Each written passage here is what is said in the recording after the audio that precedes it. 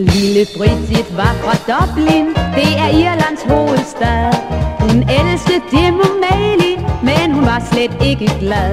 Han var nemlig lige så lunefuld som vejret i april. Som hævn hun sang en vise i denne her den stil. Lad ham gå, lad ham løbe, lad ham gøre hvad han vil.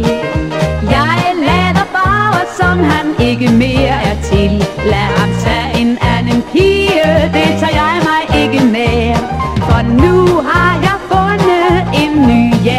kære. Lad ham gå, lad ham gå.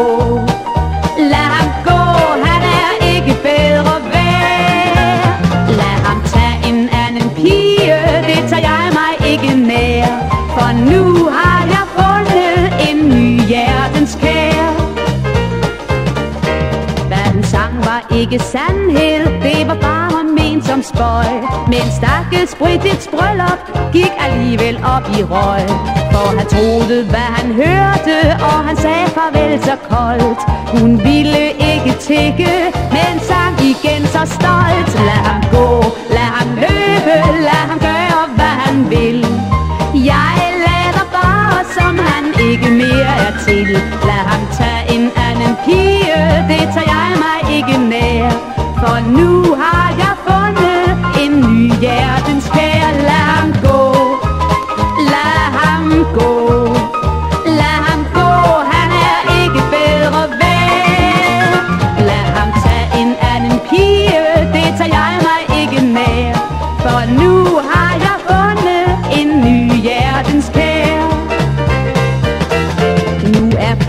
røde lokker, blevet grå af alderdom.